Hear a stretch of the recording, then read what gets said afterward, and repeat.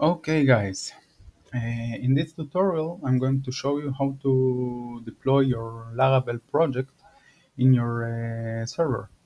In this particular tutorial I'm going to show you how to deploy it on uh, a shared hosting ac account.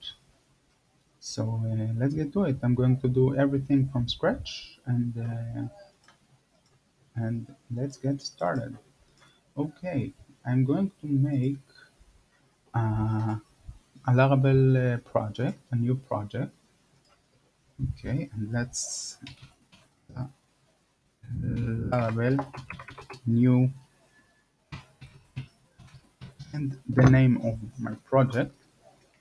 For the meanwhile, while this is downloading and preparing my uh, my application, we will need we will need to set up some a few things on my on our uh, provider.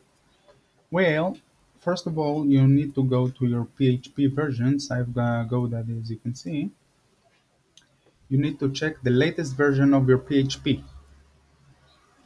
Here I have this, and let's before we we set it, you need to check the PDO that it is okay. Select set is current. Yes. Let's switch to PHP options. See if something is uh, okay. Post uh, the memory, everything is okay. Set is current. Okay, now let's go to our file manager. I'm going to put this in my public HTML folder. As you can see now, access denied is forbidden. And let's see if that's finished. Uh, okay, that's finished. Let's go to my project. Where is it? Where is it? Here. I'm going to add this into a zip folder add to archive zip and this. Okay. Let's just copy this here. Check this out. And I'm going to my file manager. I'm going to upload. Choose the the zip file okay it's gonna upload it. Just few more seconds about 30 seconds.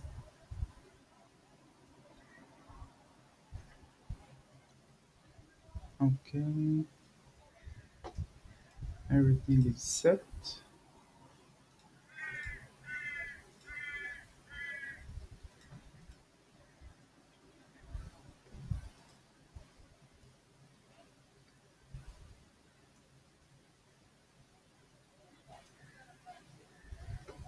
and that's it. You have it here. Let's go and extract it. I'm going to extract to my public HTML folder my main site. And we're gonna need to configure some uh, some files.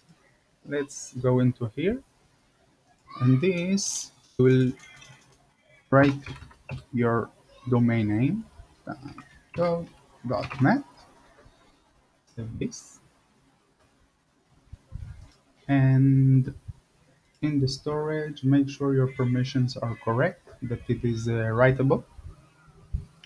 And let's go to our public folder and copy everything and move it to the public HTML move and up one level go to your index.php file and edit it. Because I'm using my my public HTML which is the main directory I don't need this and save it.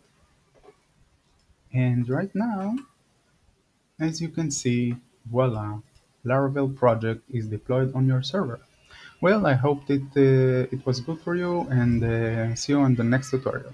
Bye bye.